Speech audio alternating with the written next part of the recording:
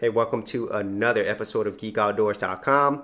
So, a little while back, I did a few videos where I purchased a brand new Windows laptop and converted it over to a Linux laptop. If you did want to see those videos, I will leave in the description area below. And so today, I'm doing an update to my Linux laptop to see whether or not making the move was actually worth it. So, let's go ahead and check this out. Okay, so now we're on my laptop, so let's go ahead and see what I'm working with.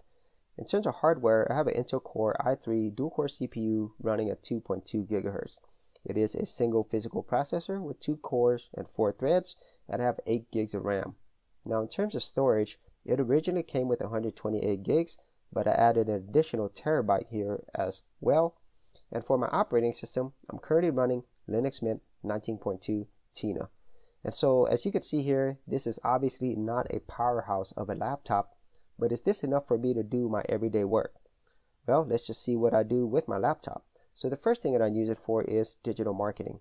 And so that requires pretty much all internet-based applications. And so as you can see here, I have all my browsers here. I have my communication tools like Discord and Slack and Zoom when I need to work within Teams. And then for office related stuff, I have LibreOffice here. And then for all my other programs, everything that I have on my desktop, I have it here as well. And then if there are programs that requires Windows, well, I have Windows as well. I have Windows 10 running in virtual machine right here. So for any programs that I need Windows for, I have it here available and it works just fine.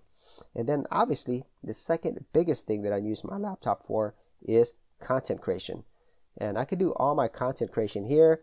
When it comes to screen recording, I use OBS, which is what's recording this right now, and Simple Screen Recorder. And for my video editing, I have tools like OpenShot, but the main one that I use is Caden Kdenlive. And as you can see here, I have a 4K project. So I could actually do 4K video editing right here on this laptop. Now, obviously, it's not going to have the same performance as it is on my desktop, so things are a little bit choppy. However, I can use proxy clips in Caden Kdenlive, so that will make things a lot smoother.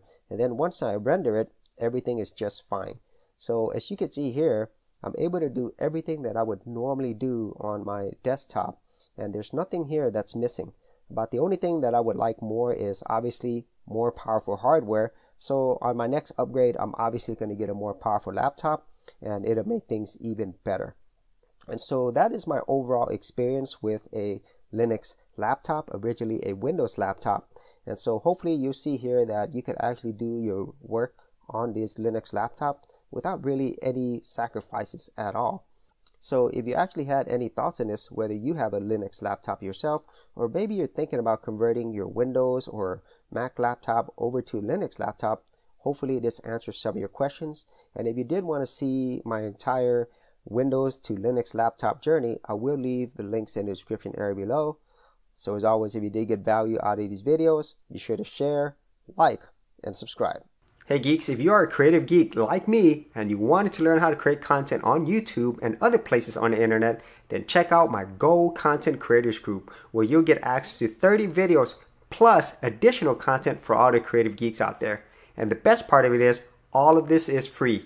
Simply head over to the link below check out my page and sign up for my Go Content Creators group. Thanks for watching, and I'll see you on the other side. Thanks for checking out this episode. And as always, if you like these videos, be sure to click on the subscribe button.